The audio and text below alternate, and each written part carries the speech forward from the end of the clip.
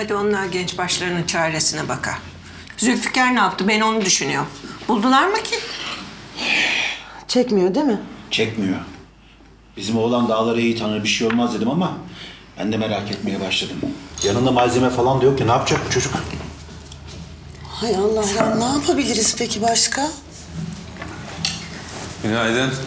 Günaydın. Nasıl oldun Selçuk? İyiyim anne, iyiyim. Onun için demedim oğlum. Miden kötü. İyiyim.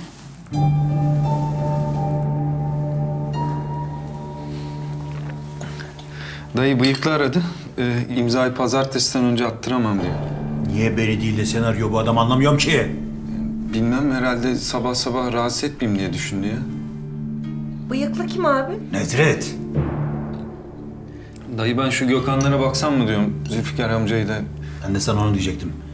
Üç beş adam al yanına da git bul getir şu Gökhan'ı. Tamam o zaman afiyet olsun.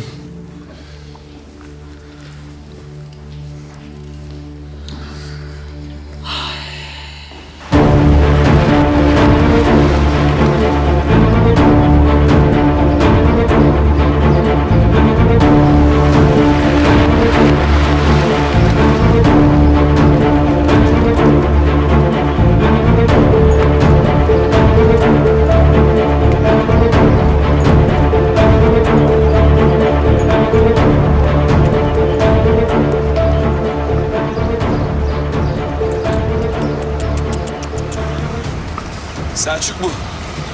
Bizi aramaya çıkmışlar. Bizi değil, seni aramaya gelmiştir onlar.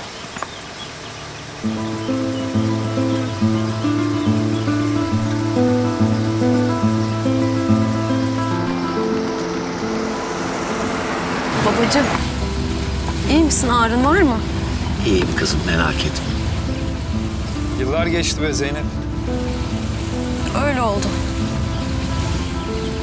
Birincilikle bitirmişsin tebrik ederim. Sağ ol. Öyle mi? Sen nereden biliyorsun Selçuk Bey oğlum? Biliyorum Zülfikar amca.